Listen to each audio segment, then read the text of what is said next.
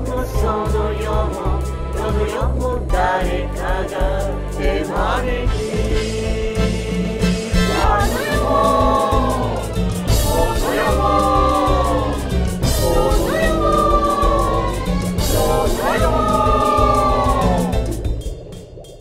はい、えー、男三匹の美学でございますけど、えー、インイン西成でございます。はい。僕はあのまあ僕、ん。高校中退なんで、はい。学歴は全然ないんですけど、はい。ほう。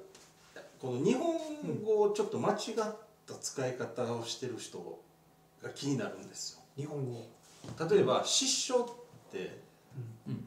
なんかちょっとこう霊笑と勘違いしてる人あはあ。冷ややかな笑いと勘違いしはい使い方を、うん。うんうん。失笑って本当はお葬式とか大切な会議とかで思わず笑ってしまうことを失笑って言うんですけど、うんなんか失敗した時に笑うみたいなうん、うんそうですね、そういう使い方のの方が多くなるだからそういうそういうのは本当は霊笑じゃないですか、うん。冷ややかな笑いって書いて。だから失禁とかっていうのと同じようなうん。しちゃいけないところで漏れちゃう笑いをはい。失笑って言ったり、うん。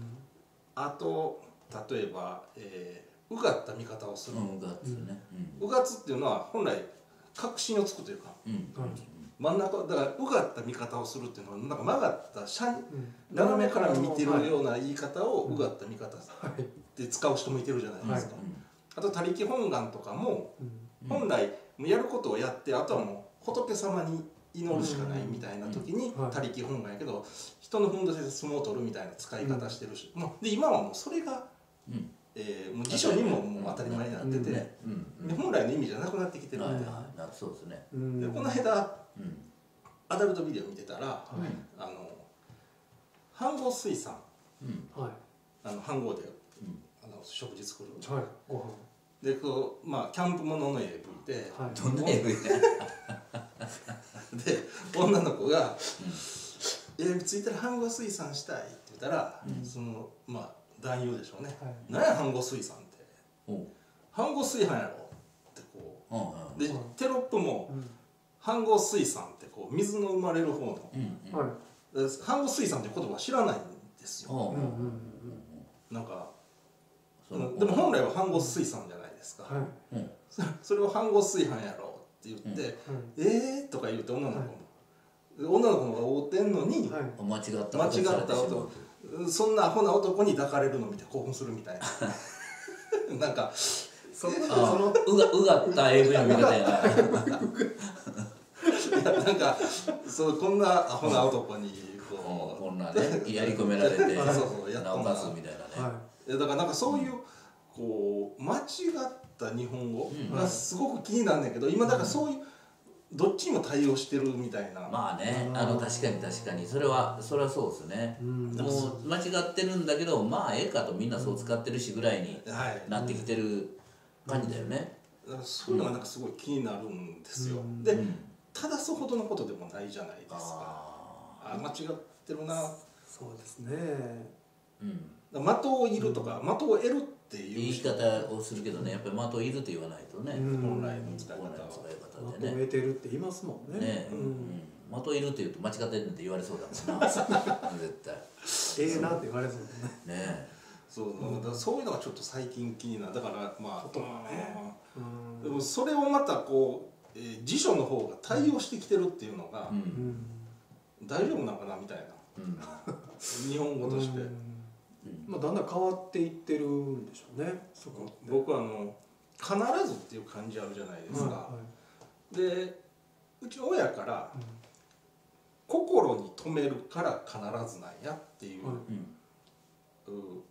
うなんてうん覚え方やったんですよね、もう書き順が今もう「天書いて能書いて」こんなんじゃないですか、でもう書き順からしてこうこう 国の指定してる書き順からしてもう何やそれっていう、うんうん。意味がないやんその書き順っていう、はい。で大体必勝八巻とかのはい「必ず」って言っちゃ大体心に留めてる書き順のなんかバランスなんですよ。うんうん。あ天書いて能書いてっーうんていう書き方じゃないような、うん。その書き方ではこの「必ず」はでできへんやろっていうような。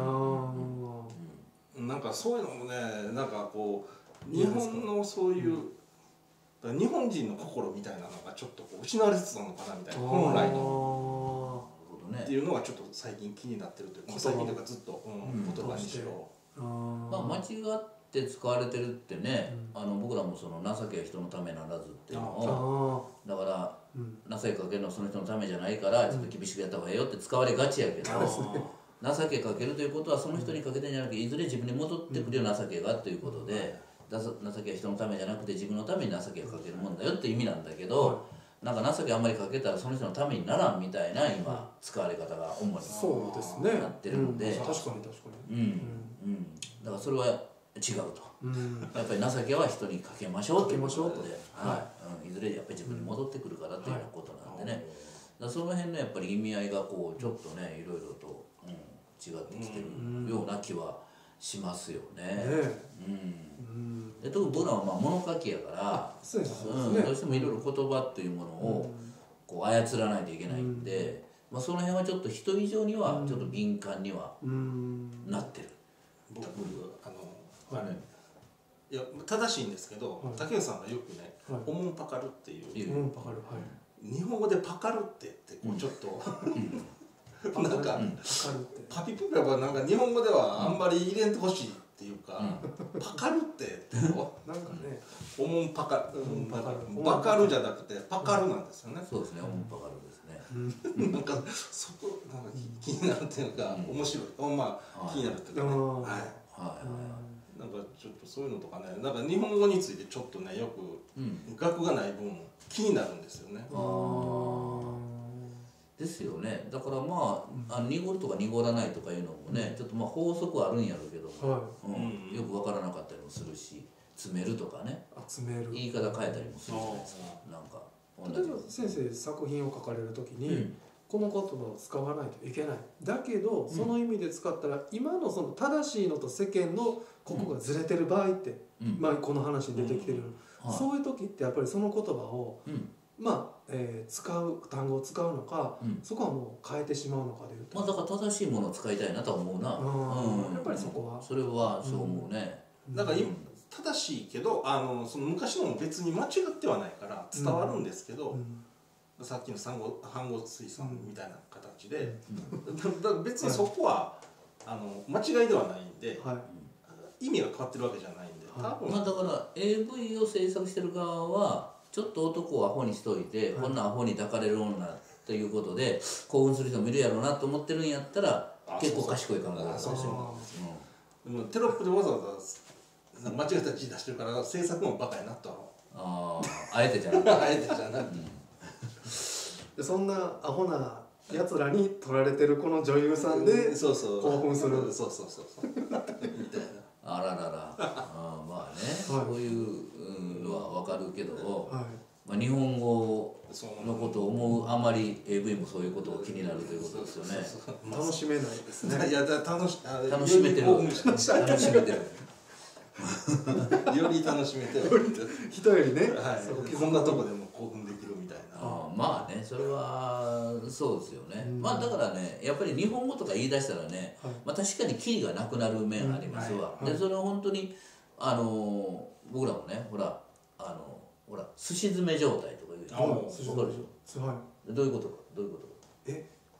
こうぎゅうぎゅうってことですか？はい。あよかった。はい、うん、でも僕らが思う寿司っていうのはぎゅうぎゅうじゃないじゃないですか。ぎゅうぎゅうやったら困るやあ確かにそうですんね。ね僕らが思うねはい。握りとかぎゅうぎゅうにしたら困るから、はい。あれ押し寿司のことですよねだから。ああ寿司詰めっていうのは。押し寿司を指してはい。寿司詰めって言うんですよね、はい。確かに握りは空間がちゃんと入ってますからそうあれこうギュッてなったら嫌やから。ここにも振って握らんとダメですそうからね。だ空気入れてね。だからそういうことをちょっと考えてしまうんですよ。ああはい、うん、うなぎの森やな君の人気とかさ。うなぎの森。ってどういうことやろと。うなぎ登るんだよね多分滝みたいな。あぐーっと。うん。あそこそれをヒューで言うてて。言うてるんですよ。うん。だから大体そうですよね。だから本当に立水の余地もないっていう。うん。立水の余地もないわ。水ってこうなんか尖ったものが立ってるから、はい。立ってるからこうもうす隙間に全部こう立てていけるわけよ、はい。竹ひごみたいな、はい。その竹ひごすら立てるところがないぐらい詰まってるのは立水の余地もない。立水余地もない。うん。という、まあ、言い方をするんですよね、はい。だ寿司詰めよりももっときついやつですわ。ああギュッとなってる。作家さんだけはね。勉強そういこうギュッてなってるだけじゃなくてもう僕らあんなギュッてなってますわ。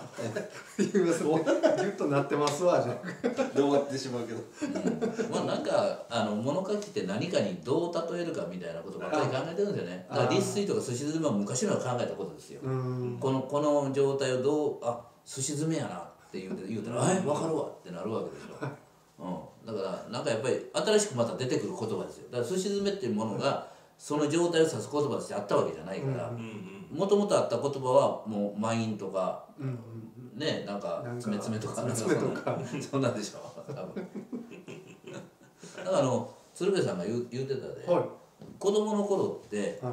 車って言うのブーブーとか言うやんあはいはい。ね、ニャンニャンとか、せっかくやもうそのまま行ったらどうやみたいな。車っていうのもブーブーでええやんか、はみたいなあでもにゃんにゃんにゃんは？ニャンニャンでええわけだし、うん。それやったら楽やろっつって。だから社長がブーブー出した前やと